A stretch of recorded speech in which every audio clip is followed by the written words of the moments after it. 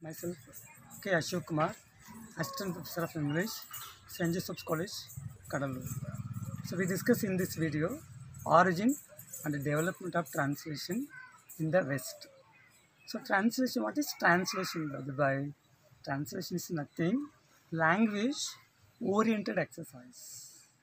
Which text we translate from one language to another language. So in the West, how did the translation got inspiration and got, how did it origin and develop?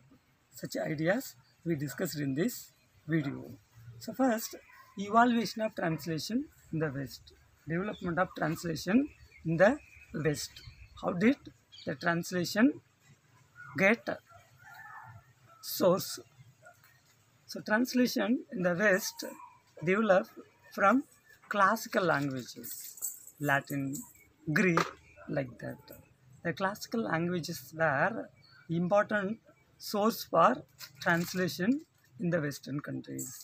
People like Cicero, Horace, they their so their text or their books as a big or great source to other people the translation get uh, got development in the Europe. Then next thing or next great uh, source for the development of translation uh, is Bible. We know that even still now in the universe countless numbers of countries translated this Bible. So Bible translation. So through people translate this Bible to flourish the Christianity, but uh, the regional languages got get standardization through this translation of Bible. So in the West, uh, so many people translated few few parts the Bible to their regional languages, but the, uh, later 1611 the bible got its authorized version of bible. So the king james bible or the authorized version of the bible. So this is the bible got the final position in the english. Okay. Such a ways the bibles also given so many inspiration for all other european languages through translation.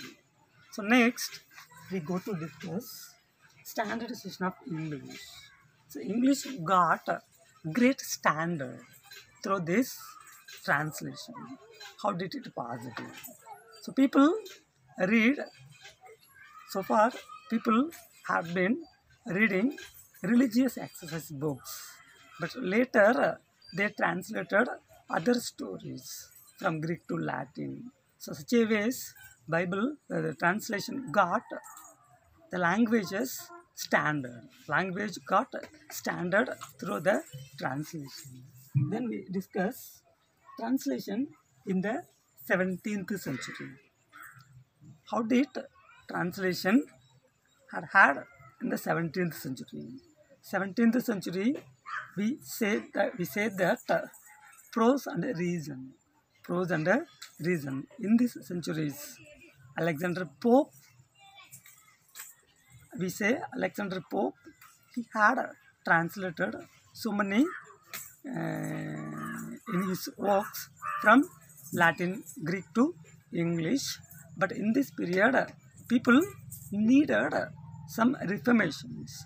So, this that reformations uh, fulfilled by translation.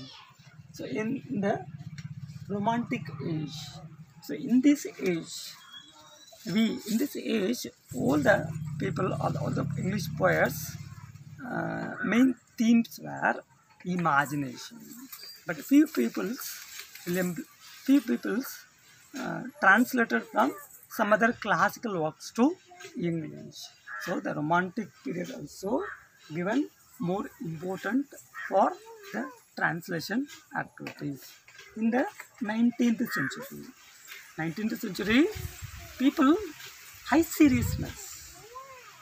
people's or the writer's thought is high seriousness. William, uh, in the England poet Matthew Arnold and the American poet William uh, Wordsworth Longfellow both accepted this idea. Then colonial England. Colonial England. When English people colonized all other countries, so that period, English people got so many unknown languages. For example, they invaded India. When they came to our country, they didn't know our language, our culture, our literature. Like this, so many countries they invaded that period. So, translation got a big job to understand our cultures, our literature to them. So in the colonial England got unnumberable, unnumberable languages through invaded. Then 20th century to the present. So today, what are the benefits? We get translation. So up to Greek to today, 20th century to the present, translation come across so many difficulties. Today, in the universe, not only all over the world and England or all other countries, translation got a big position, great position. Still, we read all other our European people enjoyed Asian people's culture. Haiku, we know that this is the greatest technical poetry. This is not written by or originated by England from other Asian countries. Haiku, English people enjoyed. Chinese poetry they enjoyed. Our cultures, our literatures, Indian cultures, Indian literatures they enjoyed in the 20th century. Such a ways translation got great victory, great development in the Europe. Still now the translation had practiced had been practiced have been practiced all the universities as a major subject. Translation started from Greek, Cicero and Horace, come across from Bible, then 17th century translation of English, 17th century, 19th century, then 20th century. Such a ways translation had had come across so many struggles, but now as a major paper in the curriculum of all universities, it got its primary position. It is not a secondary position. Thank you.